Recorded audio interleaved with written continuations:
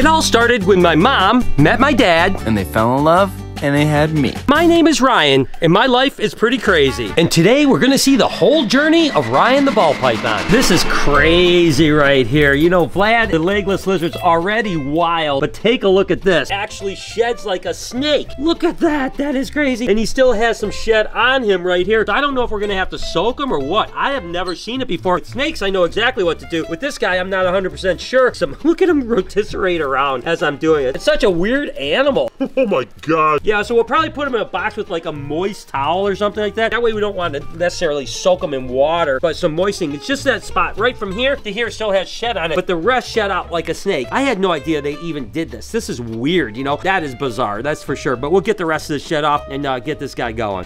Do you want a dog or a flower? It's been 30 days since the eggs have been in incubation, which means we're halfway through. So far, the clutch looks absolutely amazing. Speaking of amazing, look at this pied Musarana rat snake. I absolutely love this animal. Okay, you- all right, stand up, stand up straight. You're all right, you're all right. I'm right here with you. You got an open mic there, Jose. So, all right. Hurry up, hurry up, hurry up. Get out. And then I'm done, I'm done. Hurry up, hurry up.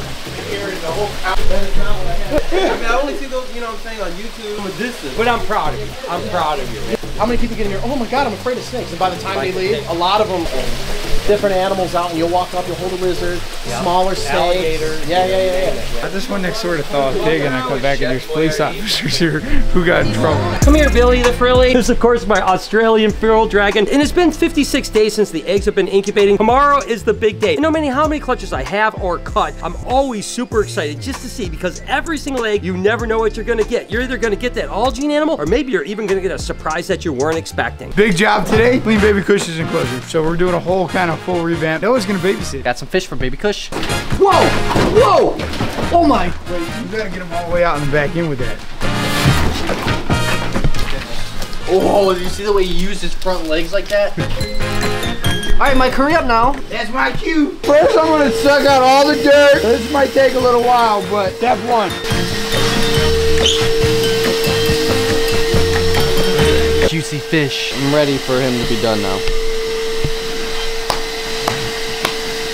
So a lot of dirt, so going. Before we get into the egg cutting, I had one of the most crazy things that ever happened to me. This was actually a black pastel lesser woma, period, bred to a killer leopard clown ball python. Now, the black pastel woma lesser was not het for anything, or we didn't think it was. I thought I was gonna produce a bunch of cool combos that would be het for clown. Well, guess what happened? We produced clowns. That's right, this female somehow was het for clown. Now, going back on the lineage, she had nothing to do with clowns, so it was just a spontaneous thing that she would happen to be het for clown, and we happened to put a clown to her. Absolutely incredible. This is what they would call a black pewter clown. So this is a pastel, it's a black pastel, and it's a clown ball python. Look at how incredible it is, but this is the least incredible animal in the clutch. We did hatch a couple just kind of really pretty animals, like a black pewter lesser right here, and this is actually a Woma lesser here, but this is when it gets really crazy. I produced this. Now, I don't even know what this is. I'll be honest with you. I think that it might be a clown of some sort, but I'm not sure because it doesn't have the striping down its back. If you guys have a guess down in the comments, I would love to hear it because I don't know what this animal is right here. It's gotta be a clown of some sort because of the head pattern, but I have never seen one anything like this, so I don't know exactly what it is. I could use your help. And then take a look at this one right here.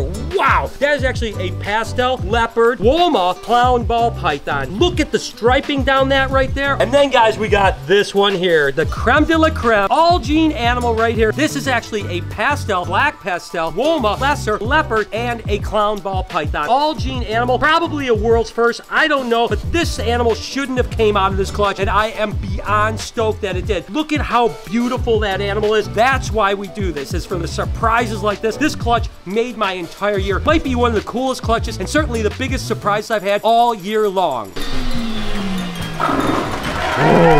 That was cool.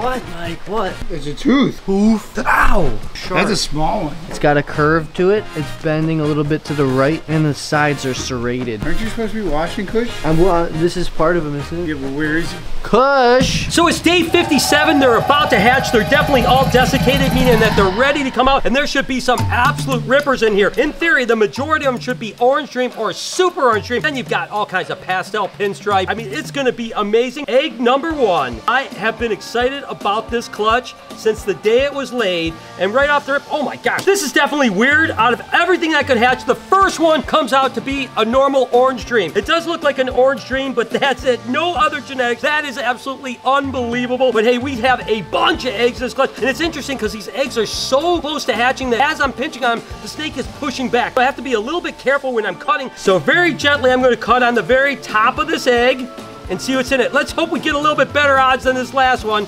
Looks like, uh, okay, what do we have here? Just gonna cut this a little bit here. Ooh, another kind of bad odds animal here. This is actually an orange dream spider. So we've missed pastel, missed super orange dream, we've missed the spinner, we've missed the pinstripe. So it's been kind of a bad start, but we still have two, four, six, seven eggs. With seven eggs, we've gotta hit some bangers in this clutch. And by the way, this may be the last clutch of eggs that I'm cutting for the entire year. So we wanna end the year really on a bang, right? And maybe I will, but here we go. Egg number three. Let's get some beautiful orange dream stuff in here. Okay, this is a little bit better. This is actually a bumblebee orange dream. Because orange dream is on both sides, you're getting a lot of expressions of orange dreams, right? In theory, three out of four should be orange dream, and then one out of four should actually be a super orange dream, and the potential of getting non-orange dreams are pretty slim, although it still has a potential here, but let's just keep on moving on. I'm really hoping for some super orange dream stuff, so let's see what we have.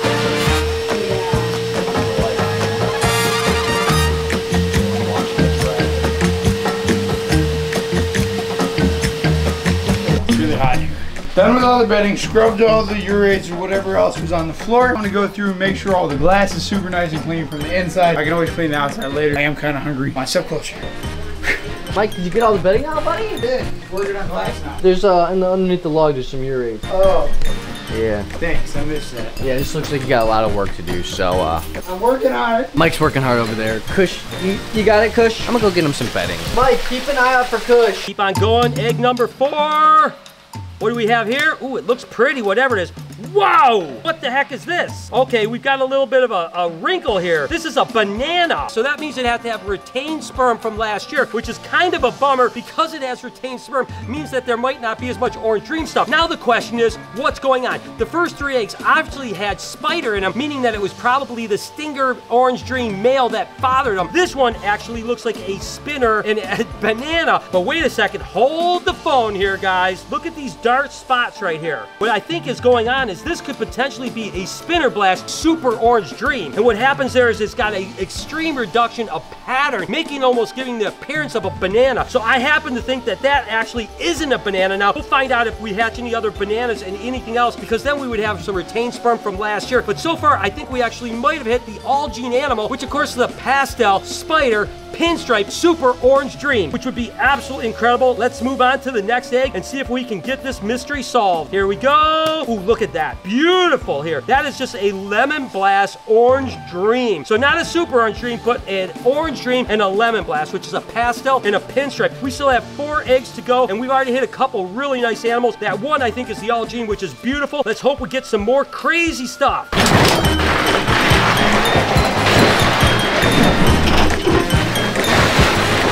Aw, no, you brought me dirt? Oh my goodness, this thing had wheels the whole time. I can't tell what's on the inside what's on the outside. That's how glass works. You want me to just chuck it in there? Is that not what you wanted? Why would you throw it on? Look at Kush. Oh my god. He's gonna climb up the wall. Awesome. this is freaking awesome. Whoa! Not so cool now. Ah.